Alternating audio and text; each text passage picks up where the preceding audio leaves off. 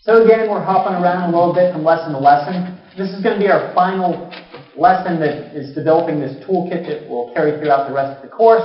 This is on the instruments we use to actually detect the light.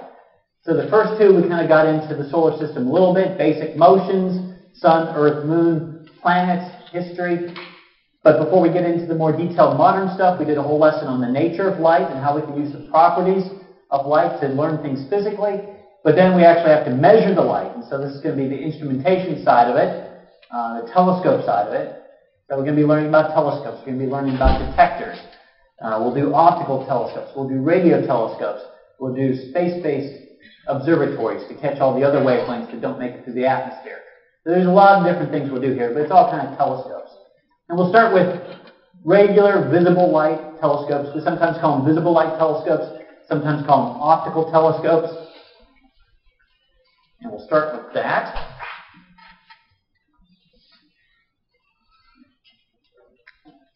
Because That's what most people are familiar with. And there are two types of optical telescopes. We have the reflectors and we have the refractors. Let's put those two terms there.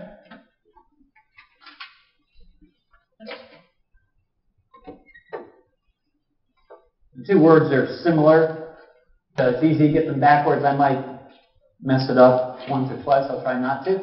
But a reflector is pretty descriptive. You're reflecting. So this telescope makes use of a mirror. Anyone want to guess what a refractor uses? A lens, yeah. When light goes through a lens, it, such as this one right here, well, this really isn't a lens, but it's a piece of glass. You can cut the lens out of it. Uh, it refracts the light. That's something we'll talk about very shortly. So we call them refractors. Here's your basic reflecting uh, telescope setup. You have the light coming in from the left. We can assume that the light is coming in in parallel rays. So why am I allowed to assume that?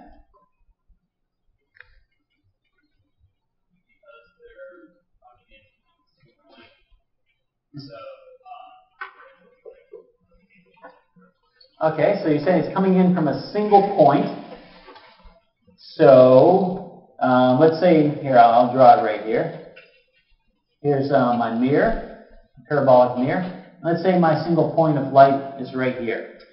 Uh, maybe it's a light bulb or something. Know, the light coming here is not coming in plane parallel. Those rays are have angles between them. They're not uh, coming in uniform. So what do I have to do with that point of light to make this assumption? Far away, that's right. If it's nearby, they're not plane parallel. If I move it farther away, we get closer to parallel lines, farther away again.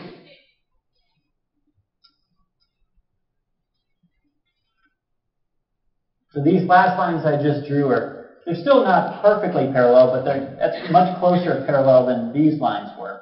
Uh, the diagram's getting confusing at this point, but I think you get the idea. Everything we're looking at astronomically is so far away, we can make the assumption that the rays coming in are almost perfectly parallel.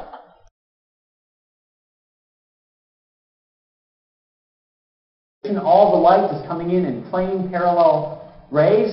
And that's a safe approximation to use for astronomical objects because the source is so far away, we're not observing this ray of light and this ray of light, but rather two rays of light that were emitted very close to parallel for them to both make it into our telescope, you know, light years away possibly, possibly billions of light years away. So you can approximate them to be parallel, and the perfect shape for reflecting parallel rays to a common focus is a parabola. And so the shape of the mirror is actually the bottom of a parabola. You might not see it because it's only the very, very bottom piece. You might remember the shape of a parabola from geometry. It looks something like this. Imagine taking just this little piece right here and turning that into your mirror. And that's what we do, at least with the professional scopes. Amateur scopes, is a shortcut that we'll get to.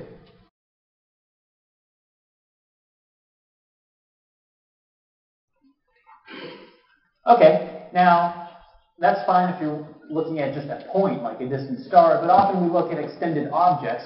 So this gives you an idea a little bit about how the telescope works. Suppose we're looking at a comet. It's extended. And we take our telescope and we point it to the middle of the comet. Light coming from that middle, coming through space, coming through the solar system at us, corresponds to this green ray coming on the main axis of the telescope, just like you saw in the previous diagram. Bounces off here, comes to the focus. Uh, the rays over here bounces off here, comes to the focus. So all light coming from the middle of the comet, or at least where the telescope is pointed on the main axis, will focus to this point here. But the head of the comet is higher than where the telescope's pointing. The telescope's pointing right at this spot right here. This light's coming in from above. So that's kind of the orange rays. If you come in at an angle, you bounce off this, it will come out. This is a wider angle. It's kind of like if you're bouncing a ball or playing two square in elementary school or something with the dodgeball. Uh, if you come in at a lower angle, it's going to come out at a lower angle. Come in at a acute angle, it's going to come back up at a very sharp angle. Here we're bouncing off at a kind of more oblique angle, and so it comes out at a more oblique angle, coming over in this direction. But on this side, it's a narrow angle. You come in and you bounce off, and so the head of the comet will actually focus down here. The very bottom of the tail of the comet, this light's coming in from below, so it's going to bounce off this way and focus up over here. The light from the tail is coming in sharp here. Focus is there.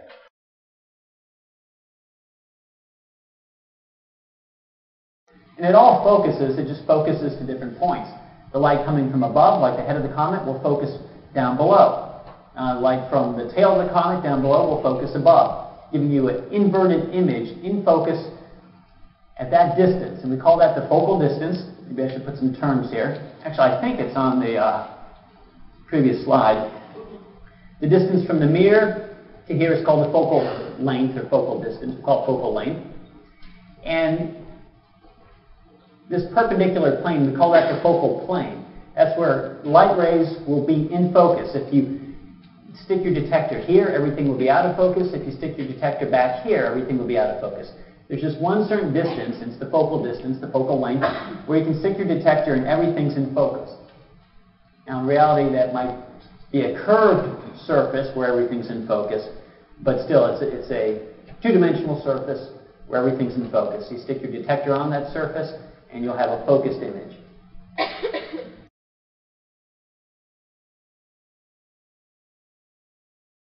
oh, question?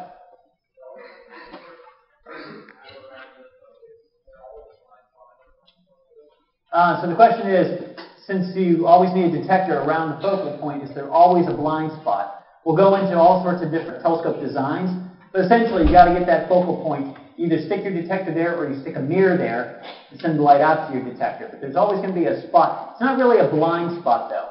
You're blocking some of the light, but you're still getting light from that point coming in all the other directions. Here, let me draw it.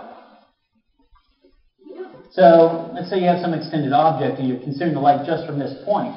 Light from that point is radiating out in all sorts of different directions. We take the sliver here, it's going into our telescope.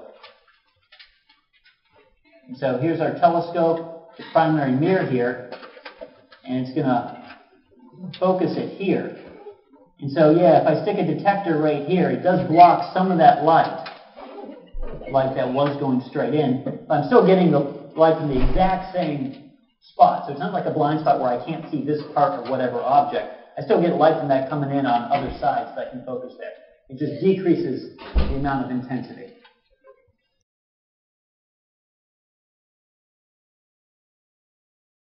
Okay, so that's your basic reflector. We'll come back because there are all sorts of variations in reflector designs for different applications.